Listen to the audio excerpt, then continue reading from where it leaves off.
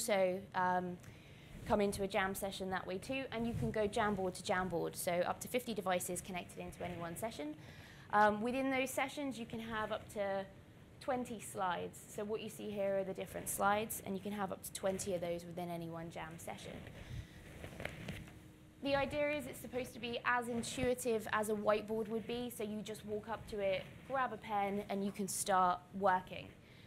The first four tools here are annotation tools, so they just give you, they're pens that give you a different kind of look and feel. So we've got a standard pen here, uh, you've got a Sharpie, uh, you've also got a highlighter, and then a paintbrush. Uh, you can also layer these up, so as you see here, you can layer them up and start to build um, on the color side of things. The bottom three tools here use Google's machine learning. So we have things like handwriting recognition, so as you start to write something on the board, Google will use machine learning. Can everybody see it at the back there? Would it be preferable if we put it up on stage? No, you're, yeah, everybody's okay, yeah. You can, you can see it on the board. So you'll see there, it uses the machine learning just to um, turn your writing into text. Um, when that becomes a text object, you can move it around with two fingers on the screen and you've also got a duplication tool there as well.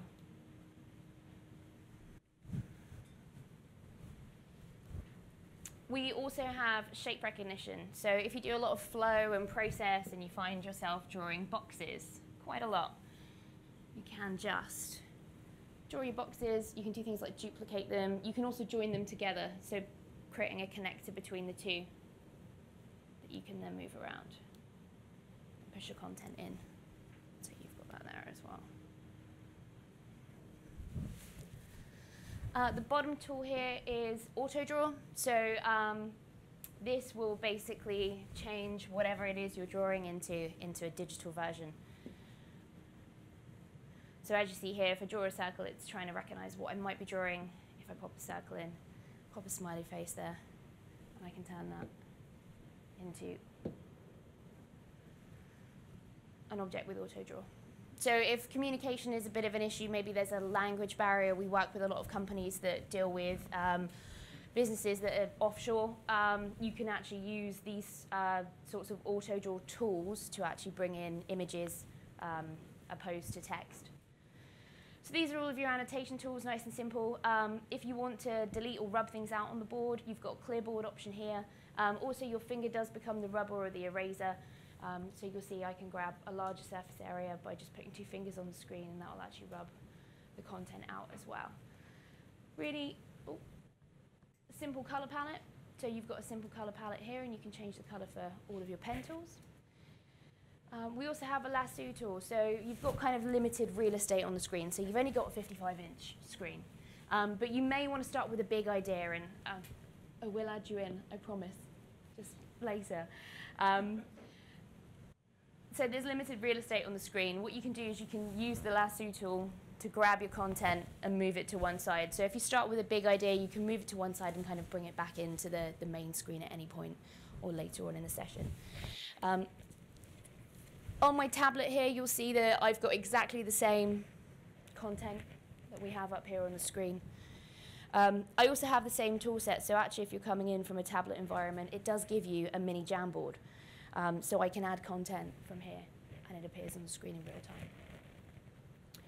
Drive access is very much driven um, from your device. So although there's a drive icon here, you have to push content in from drive from your device.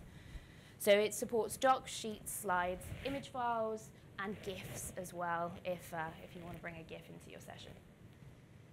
You've got the ability to browse the web, so we've got a simple web browser in here as well. So just, well, Google, Google. You can drag this out to halfway and then you can crop content from the web there as well. So there's a crop tool here in the bottom. You can bring in content from the web that you might be working on.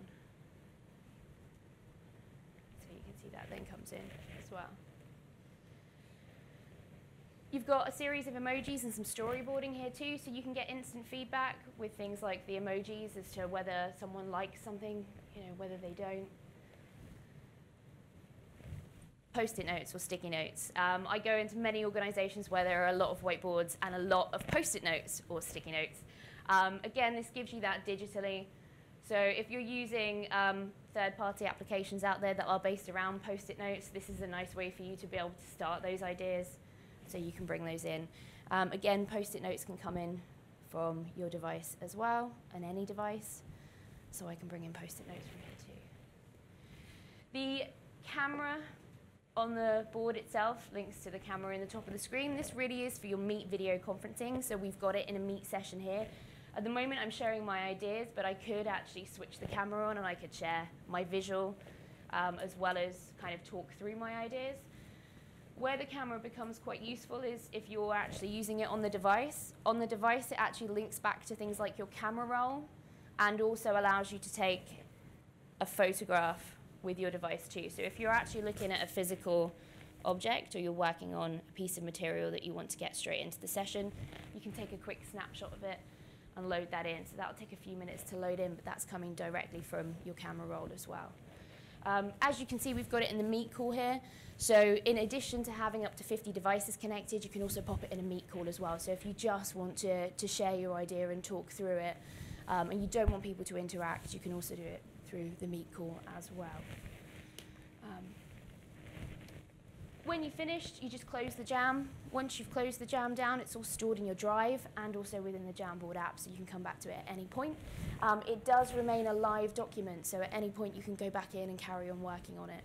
Uh, you can also set restrictions when you're adding people into the session as to what they can uh, what they can view. So whether they come in as a view only or they actually come in as someone who can edit that session as well. So you can limit um, people's uh, the, the, way that people kind of view your session too. And uh, that's the Jamboard.